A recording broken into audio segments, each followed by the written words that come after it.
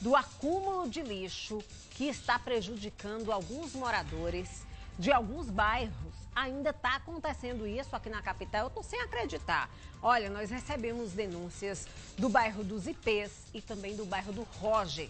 Lixo acumulado, gente, não é em lugar escondido, não. Eu estou falando das principais avenidas dos bairros. Bora ver.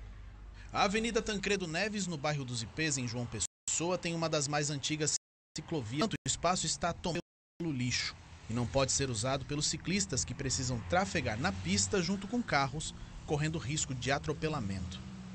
Na ciclovia, o Cosme está tentando vender salgados, mas o lixo não deixa. Tem que ter algum jeito aí para resolver, né? O mau cheiro atrapalha muito? Às vezes atrapalha assim, né? Tem um mau cheiro grande aí. Na calçada da escola Marcílio Dias, no Padre Zé, crianças passam ao lado do lixo acumulado há quase uma semana. Até a carcaça de um cachorro está no meio dos resíduos. O mau cheiro toma conta da Avenida Ayrton Senna. É aí ali, embaixo, que as crianças estudam tudo ali.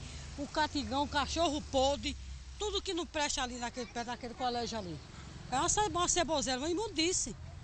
Como é que pode uma coisa dessa? Aqui no Roger os problemas se acumulam. O esgoto está correndo a céu aberto por causa do entupimento nas galerias. E aqui na Avenida Ayrton Senna ainda tem um ponto onde os moradores vêm trazer todo o lixo. Eles não têm onde descartar, então acabam descartando aqui. O mau cheiro nessa região é impossível de conviver. O lixo aqui, a água, água, água não tem como é? Do esgoto, de esgoto. Além do lixo, ainda tem o esgoto que junta. É verdade, é. E quais são os problemas que vocês enfrentam aqui? Rato, barata, tudo que não presta.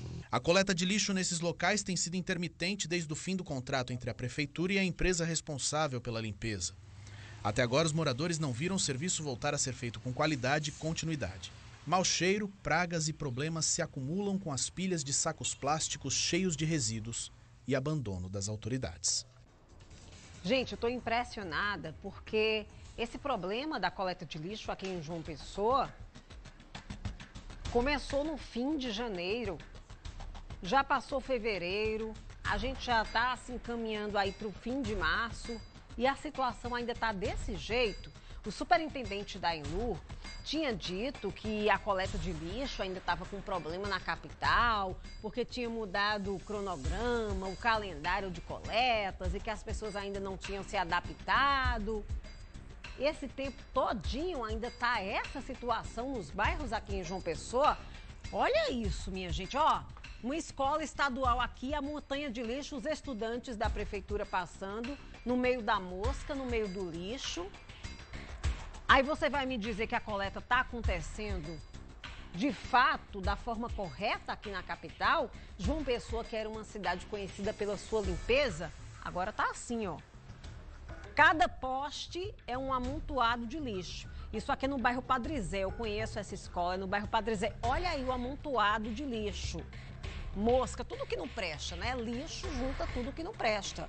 Me poupa, gente. Nós já estamos tendo problemas demais com a saúde. Coronavírus. Aí vai dar margem para mais problema? Quando é que essa situação vai ser resolvida, né?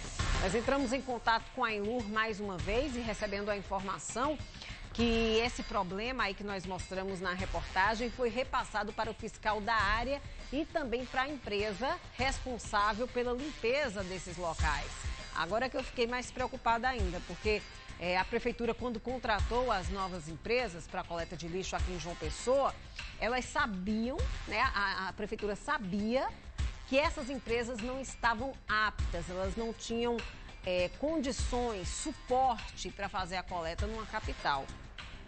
E que será feita uma vistoria para saber a razão dessa falta aí de coleta, além das providências. Vamos acompanhar, estaremos em constante contato com a comunidade, viu? Agora eu quero conversar com você que sonha em fazer